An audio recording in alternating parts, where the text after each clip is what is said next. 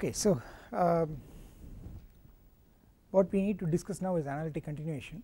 Okay, so uh, the first thing that I am going to talk about is uh, what is called as uh, uh, analytic extension. Okay, so let me explain this analytic extension. So. uh,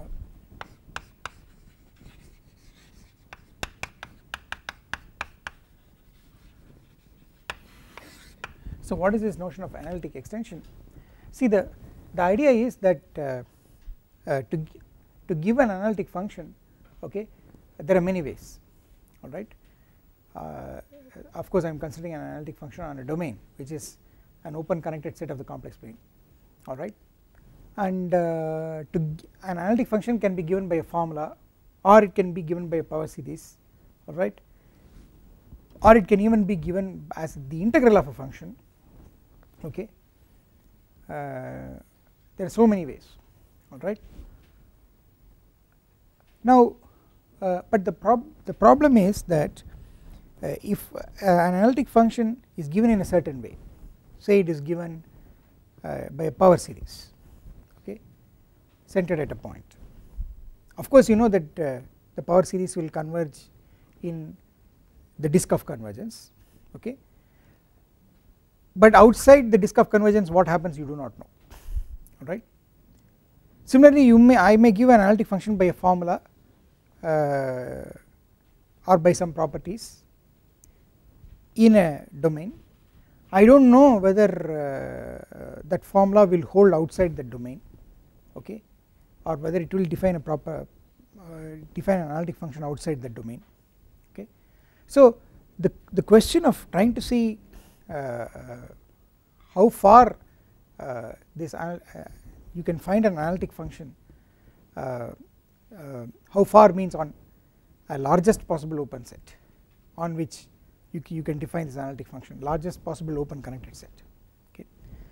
Uh, that is a question that we first need to understand okay? So you know I'll give you an example.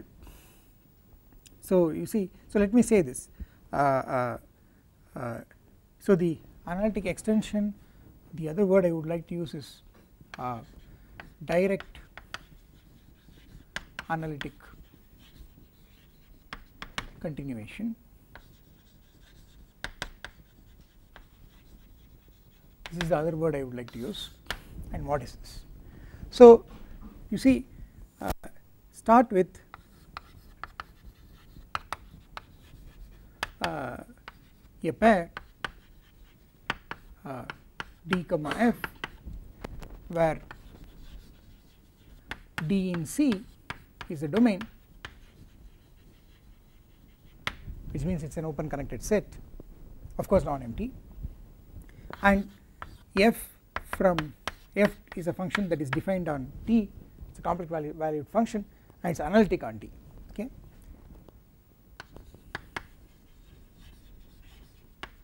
analytic or holomorphic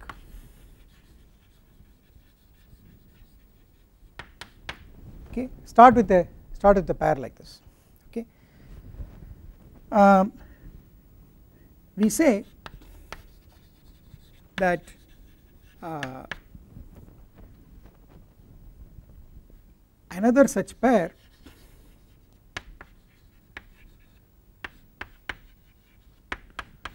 d prime comma f prime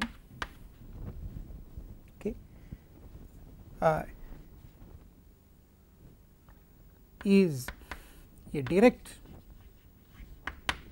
analytic continuation.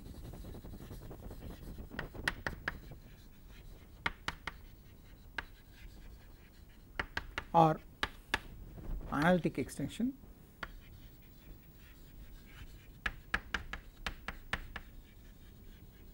Of the original pair d comma f if f restricted to if uh, d and d prime intersect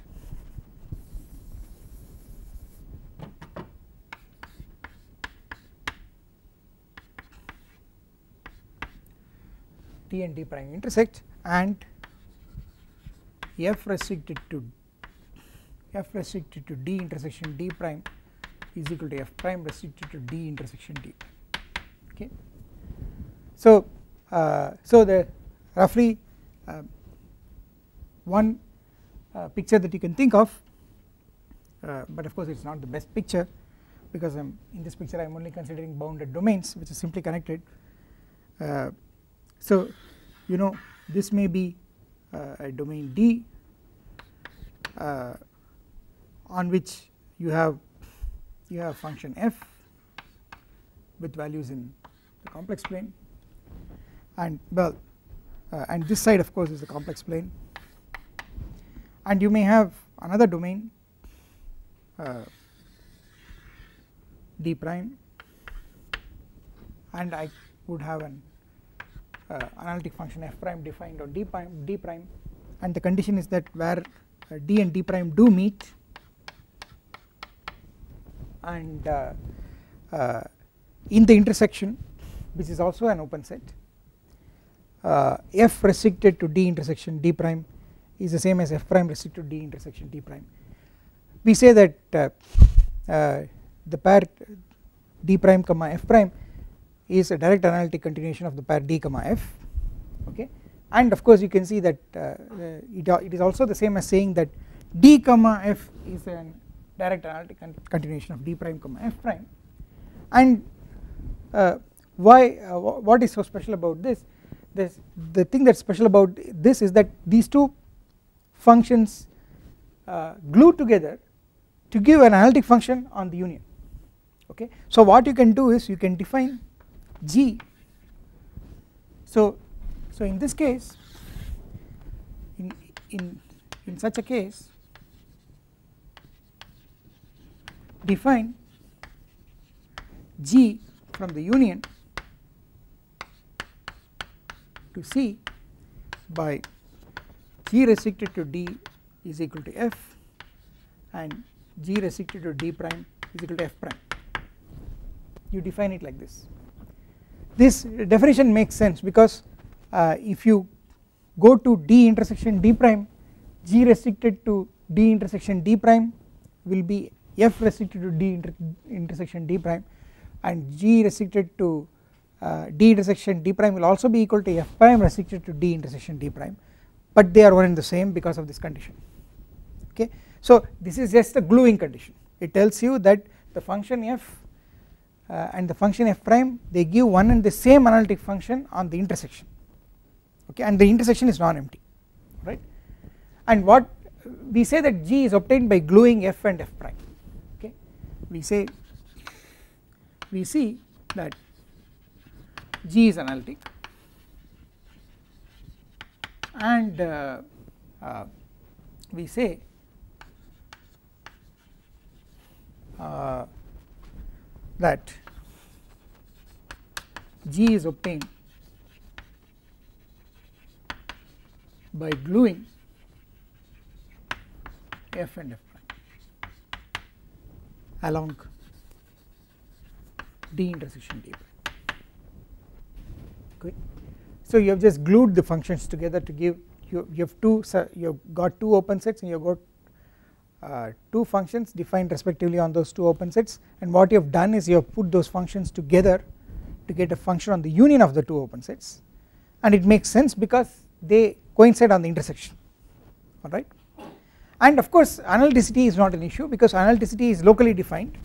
This function g is on, on this set if you if you take a point in the union the point has to either lie on in this set or in this set. And if it lies in this set then G is the same as F and F is analytic so G is analytic. If the point is on this set then G is F prime. So uh, again it is analytic. So G is analytic because analyticity is a local local property okay? So this G that you have defined is analytic right? Uh, now the point is that uh, uh, uh, so, so this is a very simple uh, concept right? But the point is that the way in which f is defined uh, may may be very different from the way in which f prime is defined okay? So uh, uh, in other words I am saying whenever you want to specify a pair d comma f or d prime comma f prime you are trying to specify an analytic function on an open set okay?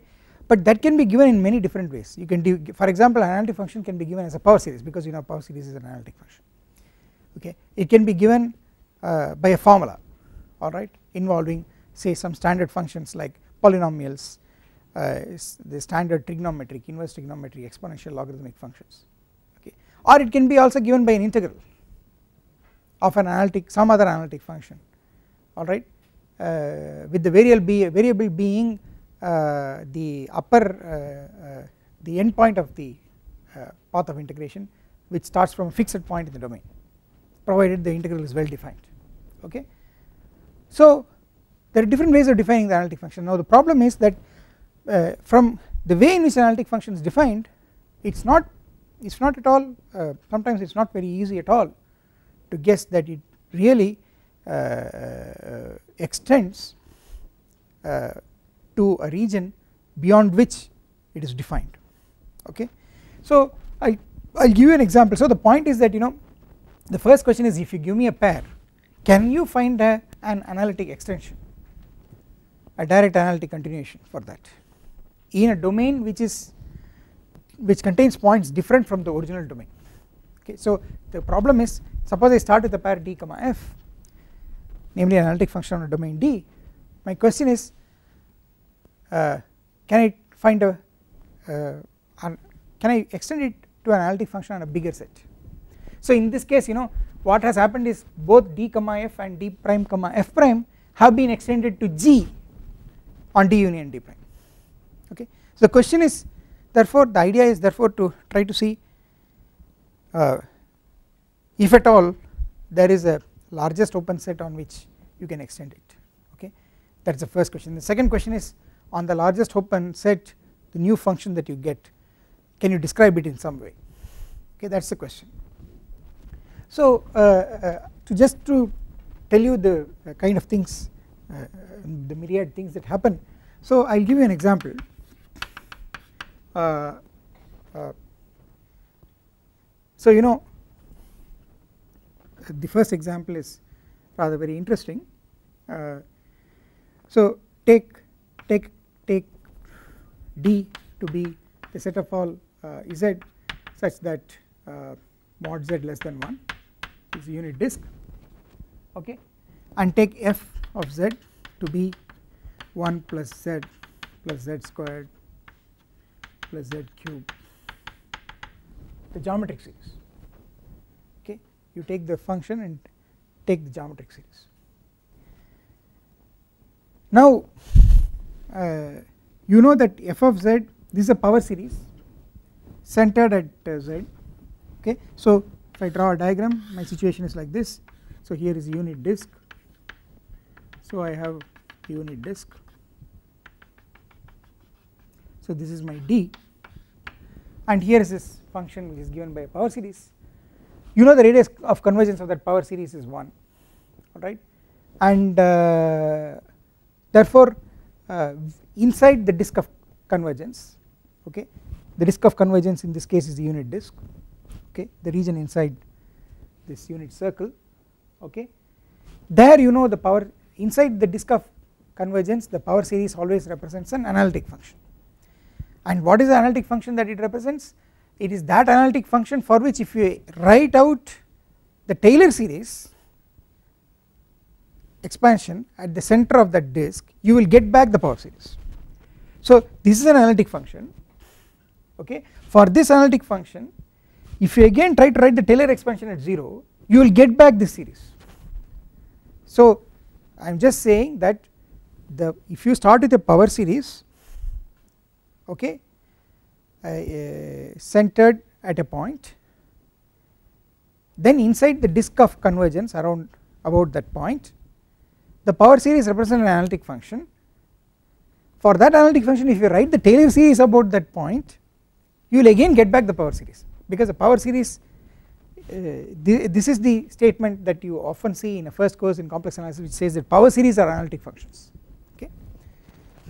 And the proof is essentially the fact that uh, the power series uh, uh, if you take a disks which is uh, if you take a disk a closed disk which is contained inside the disk of convergence the power series converges uniformly and absolutely. And uh, uh, and in fact therefore what will happen is that it can be it, it can be differentiated infinitely many times. And the differentiate and every time you differentiate it the new power series will also have the same radius of convergence. The fact that you can differentiate it tells you that it is analytic. That is why power series are analytic okay? So so here is an example. So here is my power series and now now the point is uh, so here is my pair d comma f alright? Now you you know uh, you can easily guess that there is a uh, you know uh, there is a way to extend this okay? There is a way to extend this because you know that uh, this if you consider now you consider d prime to be the plane minus the point 1 and you consider f prime uh, I think f prime is a very bad notation so let me use d1 f1 is well uh, uh, 1 by 1 minus z. Okay you take this. Now this function uh, f1 uh, is certainly analytic on. Uh, the see this is a this is uh, just reciprocal of a polynomial. And you know reciprocal of a, a polynomial is of course an analytic function everywhere. It is an entire function.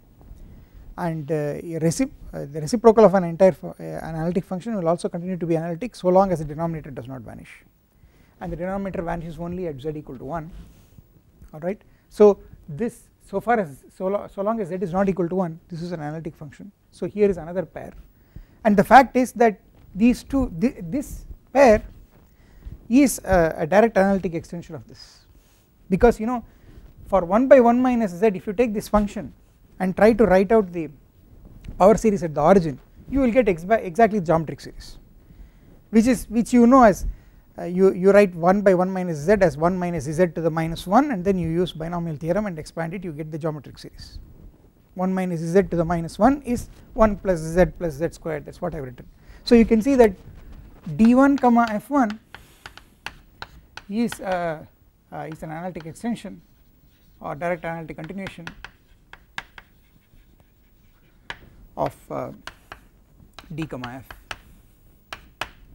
okay and uh, the point is that uh, uh, it's it's rather what is really mysterious is the following.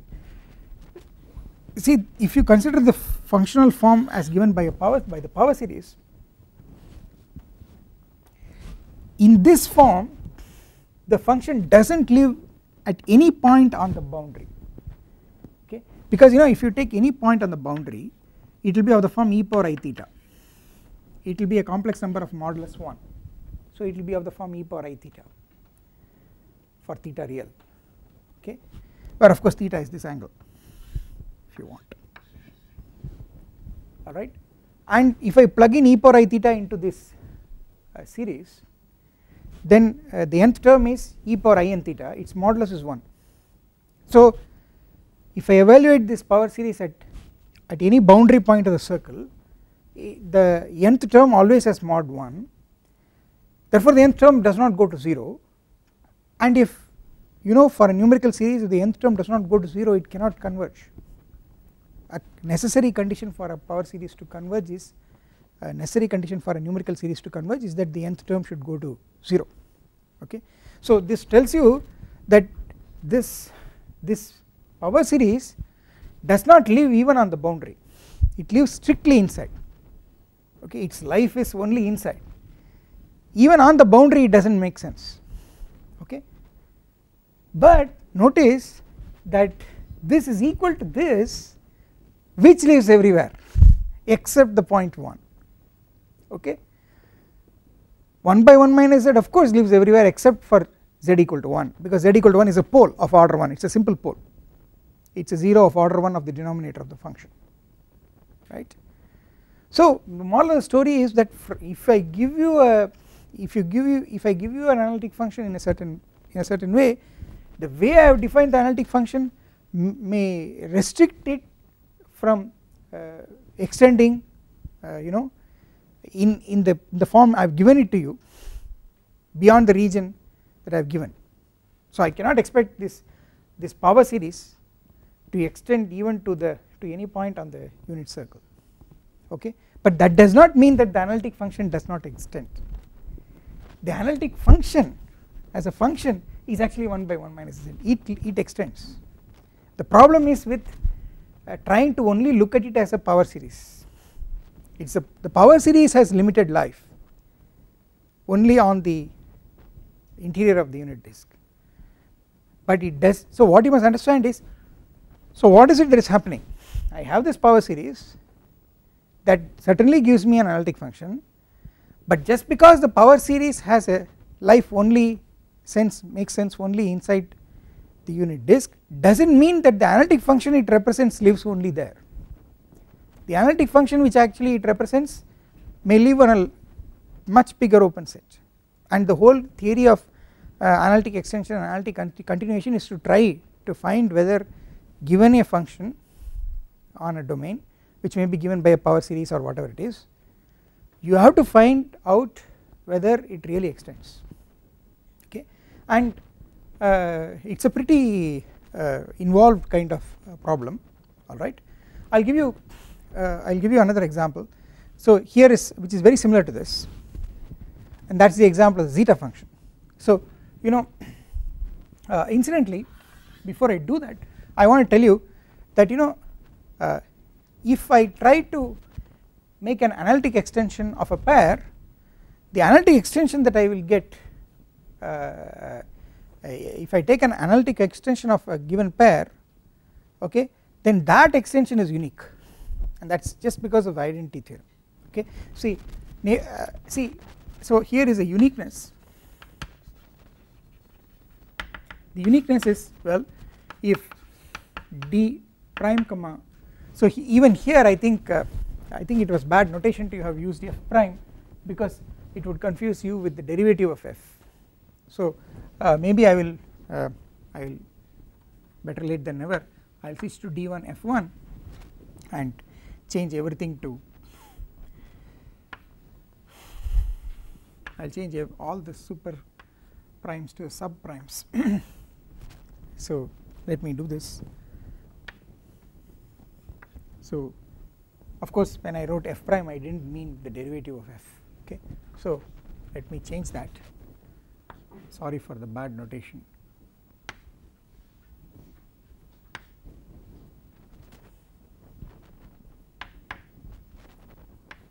Okay? So let let so so the point I want to make is if d if d1 comma f1 and d2 uh, and d1 comma uh, f2 are uh, analytic extensions. Of uh, uh, d comma f then f1 is equal to f2 okay? This is just a consequence of the identity theorem. Because what you will get is you see uh, why is that true? Because you know uh, if you take f1 and restrict it to uh, d1 intersection d or that is d intersection d1 I will get f restricted to d intersection d1 and that is supposed to also be equal to f2 restricted to d intersection d1 okay this equality is because uh, f1 is a uh, analytic extension of f and this equality is because f2 is analytic extension of f. So what will happen is you have two analytic functions f1 and f2 defined on the same domain d1 and uh, on a smaller open set d intersection d1 which is non-empty on a non-empty smaller open set they are equal. Therefore they are the identity theorem will tell you that they are throughout equal So what, so let me recall what the identity theorem says. The identity theorem says if you have two analytic functions uh, defined on a domain and suppose their values are equal even on a convergent sequence of points okay and with the limit of the convergent sequence in the domain of analyticity okay then they are always equal. Their value at every point is equal. So to check that two analytic functions are equal on a domain all you have to do is to find uh, just one sequence of conver convergent sequence of points in the domain which converges to a point in the domain and verify that for each point of the sequence the two analytic functions take the same value okay? So and of course if you give me a non-empty open set uh, I can find uh, so many convergent sequences there okay? Because because it will always con contain a disk and I can always take a convergent sequence of points going to the center of the disk if you want okay along the radius. So so the identity theorem will tell you that f1 and f2 uh, are one and the same. So the, so direct analytic continuation to a given domain uh, is it has to be unique okay. So uh,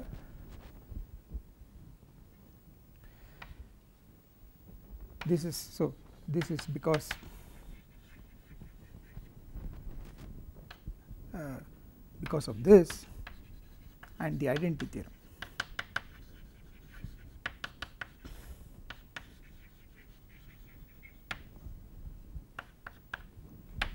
Okay. So so the analytic the direct analytic extension is unique. All right? Now now what i want you to understand is that of course of course there are situations where uh, uh, if you give me a domain and you give me another domain which intersects it uh, analytic extensions are not analytic extensions are not possible. So for example you know if I if you in the in this example uh, in, in the in this example suppose I continue with this example suppose I take d2 to be d2 is equal to any domain any domain in C containing the point 1 containing the point 1 okay?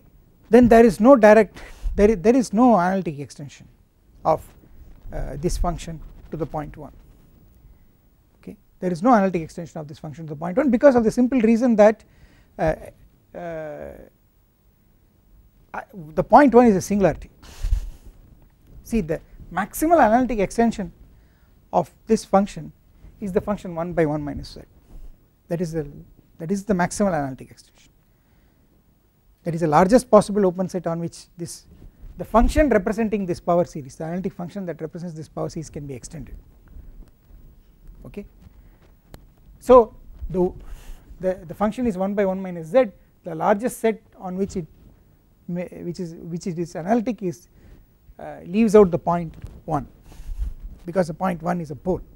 It is not a removable singularity if a point is a removable singularity then you can correct it by defining the value of the function at that point to be the limit that you get as you go to that point. But this is not a removable singularity it is a pole. It cannot be corrected. Okay? So if you take any domain which contains that pole there is certainly no analytic extension of this function to that. Okay? So uh, then there is no analytic extension of uh, d comma f or d1 comma f1 to d2 there is no analytic extension. Okay. So uh, of course this fact I made about uh, uniqueness is true for any analytic extension and here I am returning back to this example right.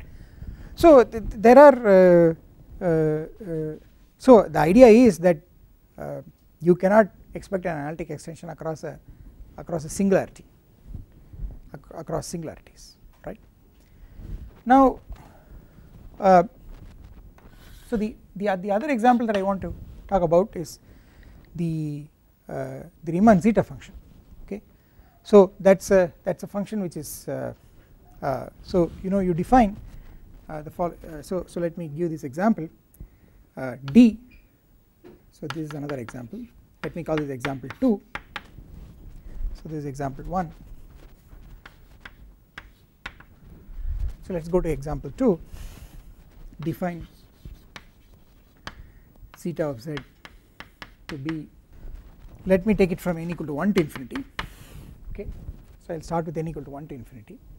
And uh, so uh, this is just if you write it uh, it will be 1 by 1 per z plus 1 by 2 per z plus 1 by 3 per z and so on. Right? So I will define it like this. Okay. And by that I mean of course sigma n equal to 1 to infinity. As I just explained it is 1 by e power z ln n okay? And uh, uh, uh, and the, the point you must understand is that each of these functions uh, ln n is a constant okay? Ln n is a real logarithm of n that is a constant. And uh, z into ln n is of course an analytic function because it is a polynomial of degree 1 okay it is just the analytic function z multiplied by a constant. And e power that is also an analytic function. So each of these functions is an entire function. Each uh, so each uh, each function 1 by e power z ln n is entire. An each of these is an entire function. Okay? And mind you uh, uh, since I have put uh, an exponential uh, the denominator can never vanish. So I can put it in the denominator okay? So whenever I put something in the denominator I should always be worried about whether it vanishes. But what I put in the denominator is an exponential and you know exponential never vanishes. So it is always defined and it is always analytic. So these are all entire functions. So if you take this sum this is again an entire function okay? But where? So there is a there is an issue there. So so so what you do is you you take the uh, the so here is my uh, uh, uh so let me write d. Let me define d to be the right half plane okay? Uh, to the right of the uh, point uh, to, to, the right of the vertical line passing through z equal to 1 okay? So you define it like this. So you take so here is a diagram. So here is the complex plane okay and here is the point 1 and I draw this line. This is the point real part of z equal to 1 okay? This is that line. I mean real part of z is x so this is the line x equal to 1 line parallel to the y axis. This is the imaginary axis. And I am taking this region. So this is my d. It is a right half plane okay? So d is a set of all z in C complex numbers such that uh, real part of z is greater than 1 the imaginary part can be anything okay? So this is the right half plane. It is a right half plane that is to the right of the line the vertical line passing through z equal to 1 which is given by the equation real part of z equal to 1 okay? Now the fact is that zeta is uh, is actually an analytic function on d. So fact is zeta is analytic on D. Okay? The function zeta is analytic on D so in fact uh, uh, uh, probably you have uh, seen this in a first course in complex analysis first of all this is a this is a is a series okay? It is a functional series with the nth function given by 1 by e per z ln n okay? First of all a functional series need not converge. So first of all for this to make sense as a function it has to converge okay? And the fact is it will converge okay? And then the next fact is that uh, this convergent function uh, once it converges it defines a function zeta it is called the Riemann zeta function okay? And the fact is that this Riemann zeta function is actually analytic okay? So the uh, so what is the uh, so let me briefly recall uh, how you prove such a thing. So what you do is well you take you take uh, you take a line to the right of uh, this given by real part of z equal to 1 plus epsilon where uh, uh, 1 plus epsilon where epsilon is positive and you, you can take epsilon as small as you want but you take a vertical line to the right of this line okay and what you do is uh, uh, you use the Weierstrass M test to show that this function converges uh, uniformly and absolutely on the right half plane starting from this line and including that line. So the the so uh, so the Weierstrass M test. shows that zeta z uh, converges in the set of all z such that real part of z uh, greater than or equal to 1 plus uh, epsilon uh, both uniformly and absolutely.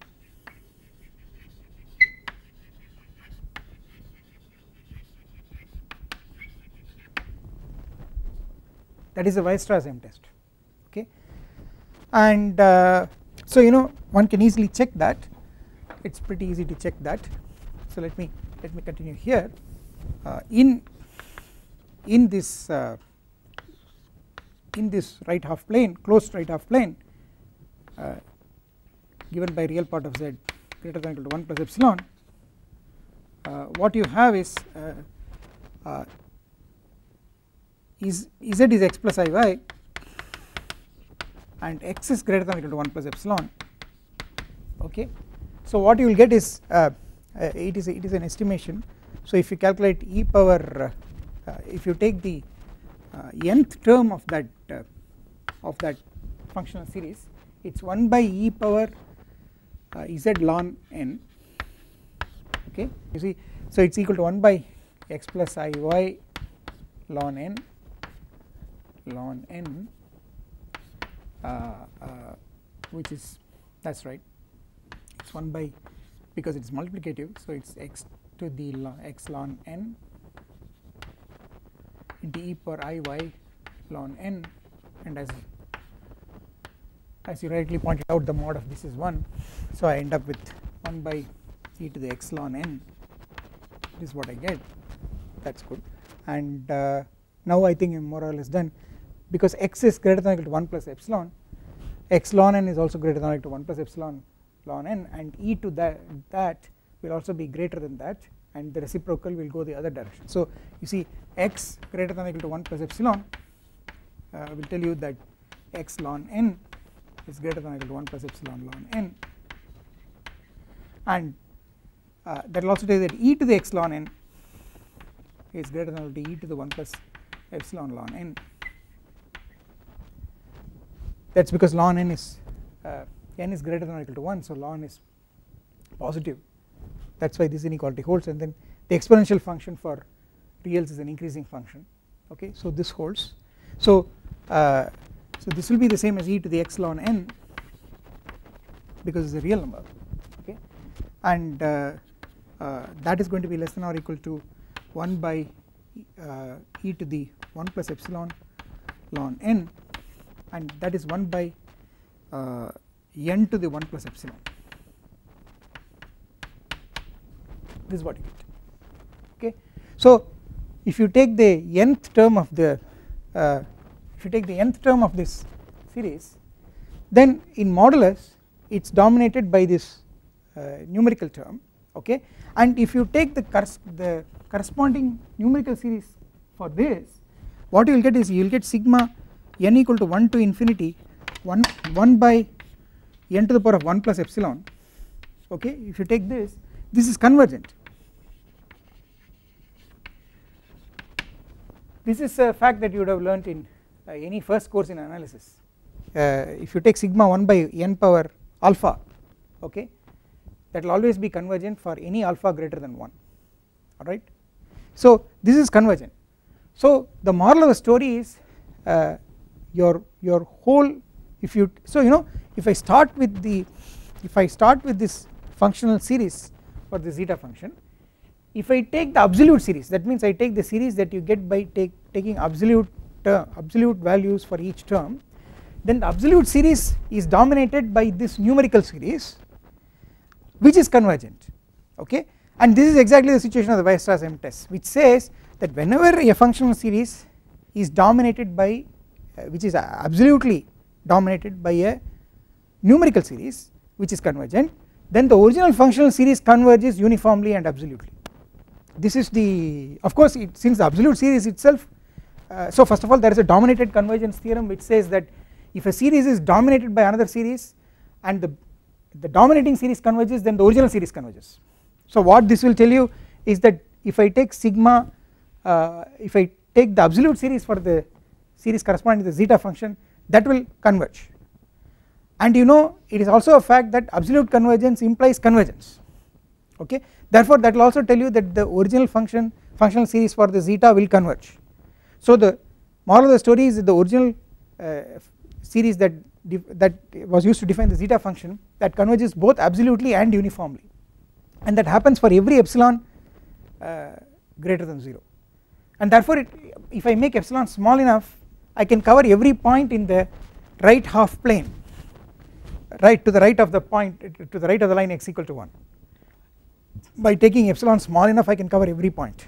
Therefore this gives you the fact that uh, uh, that the zeta function the series for the zeta function actually converges for uh, every point lying in that right half plane to the right of the point to, to, to the right of the line vertical line passing through uh, z equal to 1 okay? So so this implies that zeta z converges absolutely